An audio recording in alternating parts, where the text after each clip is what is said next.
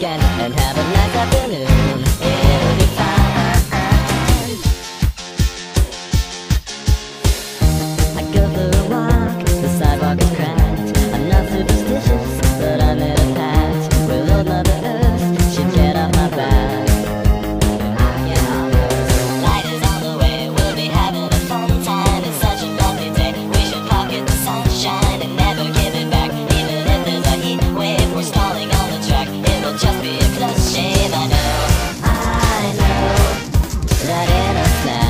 the better thing.